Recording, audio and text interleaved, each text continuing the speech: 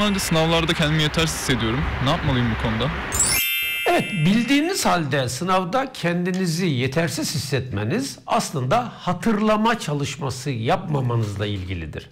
Çünkü bilgiyi hissetmiyorsanız eğer, çünkü sınav anında bilgi e, eğer bu bir benzetme olarak algılanırsa hafızanızın daha alt tabakalarından üste doğru çıkması gerekiyor.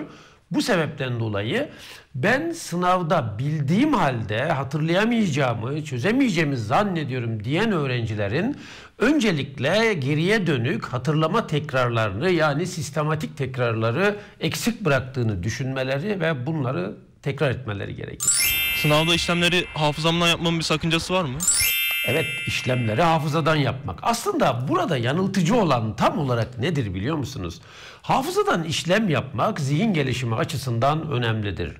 Ama unutmayın performans sınavlarında yani siz bir sonuç elde etmek için girdiğiniz sınavlarda sakın ha bunu yapmayın. Çünkü belirli bir sürede stres baskısı altında eğer hafızadan işlem yapmaya kalkışırsanız unutmayınız ki şaşıracaksınız. Onun için mutlaka performans isteyen sınavlarda yazarak, e, gözden yardım alarak işlem yapmanız sizin e, lehinize olacaktır. Sınav anında dikkatimi nasıl koruyabilirim? Evet, e, sınav anında aslında öğrencinin dikkatini dağıtan çok sayıda, çok sayıda obje veya e, uyaran söz konusu değildir. Aslında bir öğrencinin sınav anında dikkatini toparlayabilmesi için o kadar çok avantajları vardır ki ben sadece size şunu ifade etmek isterim. En çok bildiğiniz sorulardan başlamak bunun bir e, bu bir çözüm olarak karşınıza geliyor. İkincisi ise bakın bu dediğimi hiç unutmayın.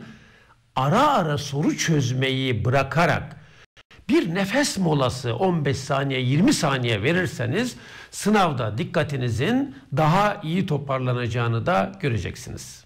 Matematiğe çalışma isteğimi nasıl arttırabilirim? Küçük parçalar halinde çalışın lütfen. Matematik dediğimiz olgu bizim aslında önce çözebileceğimiz bir soru üzerinde çalışıp ondan sonra biraz daha zoruna gidersek. Örneğin size şöyle bir örnek de vereyim. Buna bilimde çerçeveleme adı veriyor, veriliyor. Çözdüğünüz sorunun örneğin artısını eksi yapıp soruyu yeniden çözün. İşte o zaman e, dikkat ederseniz farklı bir işlem basamaklarıyla karşı karşıya geleceğiniz için hiç şüphesiz ki e, daha güzel bir çalışma yapmış olursunuz. Unutmayın çalışma isteği öğreniyor olduğunuzla doğrudan e, ilişkilidir. Bir yandan öğrenirken bir yandan daha iyi çalıştığınızı, daha iyi çalıştıkça daha iyi öğrendiğinizi göreceksiniz. Yani bu döngü bu şekilde devam edip gidecektir. Sınav anında soru çözerken sınavdan sonrasını düşünüyorum. Bu konu hakkında ne yapabilirim? Güzel bir soru. Sana bunu düşür, düşündüren kim? Onu, onu bir e, düşünmemiz gerekiyor. Aslında burada sevgili öğrencim sana hitaben değil de sana bunu düşündürene hitaben konuşmam gerekiyor. O da anne babalarınızdır. Ya da sizden e, bir şeyler bekleyen, kurumsal anlamda çok çok şey bekleyen e, kişilerdir bunlar. Yani sen kaygı altındasın. Eğer sınavın sonrasını düşünüyorsan bana ne diyecekler? Ayıplayacaklar mı? Acaba başka ne gibi şeylerle karşılaşacağım düşüncesi içerisine giriyorsundur.